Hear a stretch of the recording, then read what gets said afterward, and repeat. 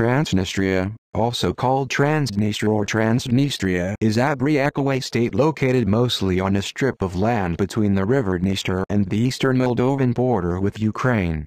Since its declaration of independence in 1990, and especially after the War of Transnistria in 1992, it has been governed as the Pridnestrovian Moldavian Republic, PMR, also known as Pridnestrovia, a state with limited recognition that claims territory to the east of the river Dniester, and also the city of Bender and its surrounding localities on the west bank, in the historical region of Bessarabia.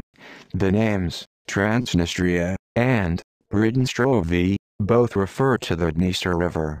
Unrecognized by any United Nations member state, Transnistria is designated by the Republic of Moldova as the Transnistria Autonomous Territorial Unit with special legal status, Unități Territorial Autonomă CU Statute Juridic Special Transnistria, or Stânga Nistrului, left bank of the Dniester. After the dissolution of the USSR, tensions between the newly created Moldova and the de facto sovereign state of Pridnestrovia, which unlike the rest of Moldova did not wish to separate from the Soviet Union, escalated into a military conflict that started in March 1992 and was concluded by a ceasefire in July 1992.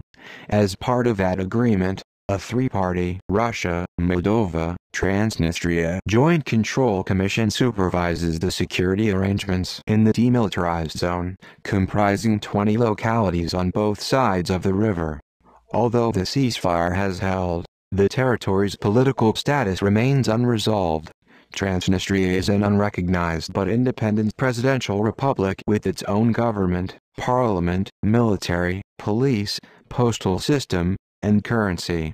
Its authorities have adopted a constitution, flag, national anthem, and coat of arms.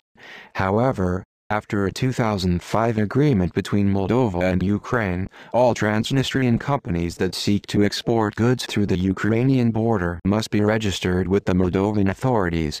This agreement was implemented after the European Union Border Assistance Mission to Moldova and Ukraine, EUBAM, took force in 2005.